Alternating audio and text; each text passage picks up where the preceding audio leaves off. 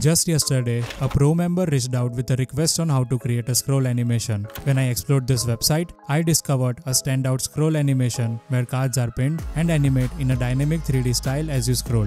This effect has become very popular and since we hadn't covered it on our channel, it seemed like the perfect opportunity to demonstrate how to replicate this scroll animation using HTML, CSS, GSAP and ScrollTrigger. While a simple version of this can be created using CSS sticky position, achieving that cool scale animation and ensuring the transformations are smooth made ScrollTrigger an ideal choice. If you find these videos helpful, please leave a like and might subscribe as well if you haven't yet. Alright, without wasting any more time, let's dive into the code. Let's start by creating a container. First of all, we'll add a logo which is going to be a link.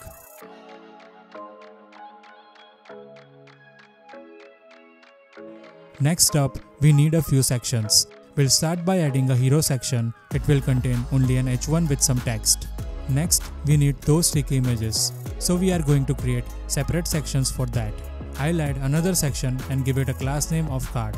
I'll add an image wrapper and put an image element inside it. Let's duplicate this section a few more times based on the number of sticky images you want. Finally, I'll add one last section for the footer. It will contain an h1.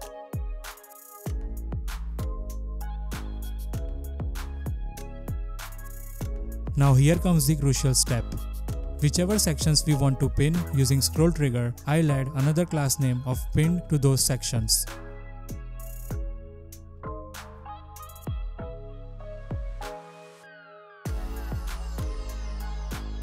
Except the last one, it will have a class name of scroll because we are not pinning the last image and it should scroll regularly.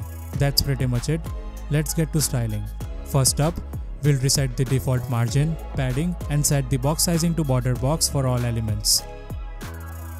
For the HTML and body, we set both width and height to 100%, apply a font family and set the background color to black.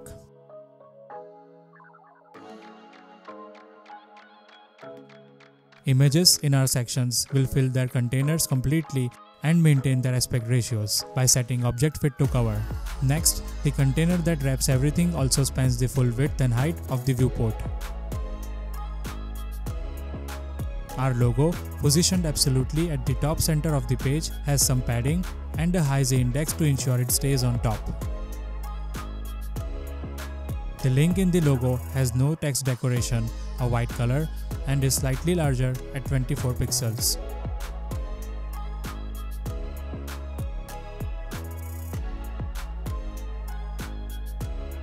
Each section is designed to take up the full viewport with a width of 100 viewport width and a height of 100 viewport height.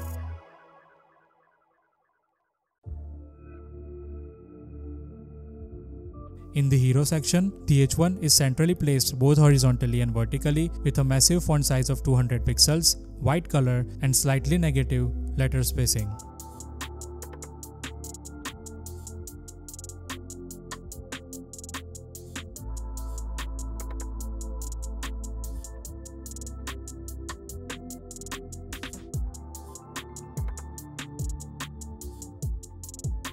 The card with the class scroll is positioned relatively to allow natural page scrolling. The image container inside each card section is also absolutely positioned at the center with specific dimensions to maintain its prominence on the page.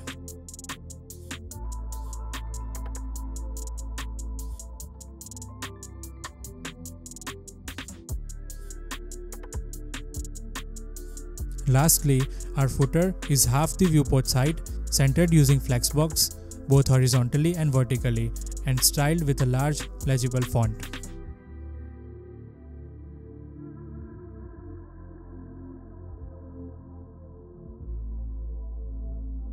That wraps up our CSS. We kick things off by registering the ScrollTrigger plugin with GSAP. Next, we set up an event listener that waits for the entire document to be loaded before running our script. This ensures that our HTML elements are fully loaded and accessible. We start by selecting the footer and the last card marked with the class scroll. These elements play key roles in our animation sequence.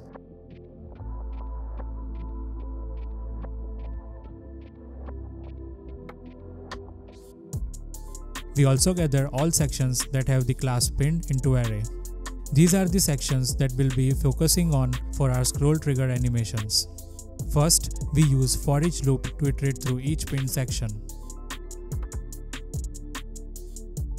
Initially, we grab the image within the section using query selector.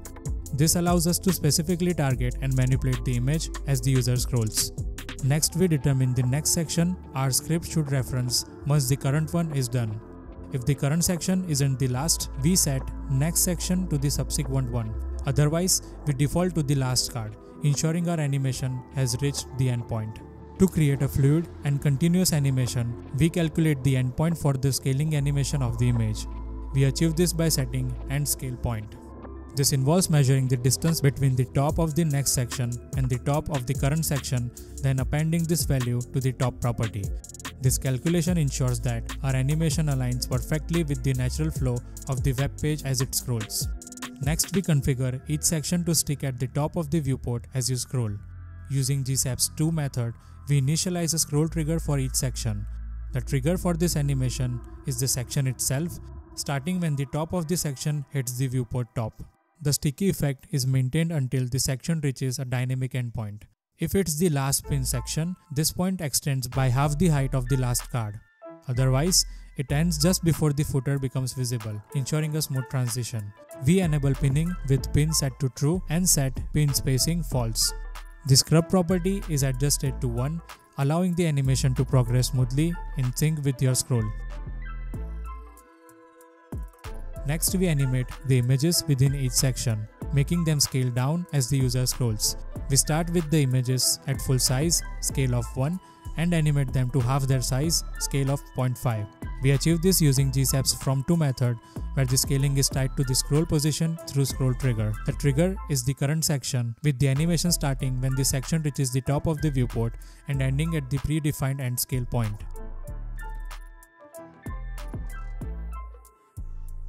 The scrub parameter is again set to 1.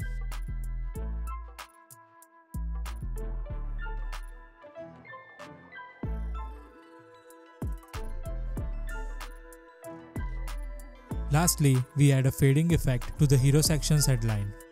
First, we select the H1 element within the hero section.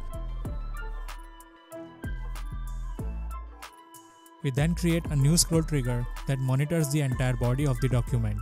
The animation starts right at the top of the page and continues as the page scrolls down through 4 times the viewport height.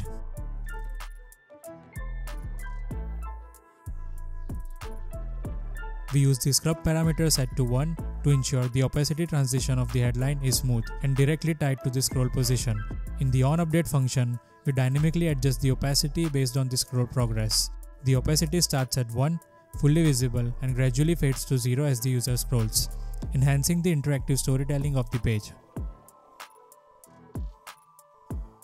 That's pretty much it. Hope you found the video helpful. See you in the next one.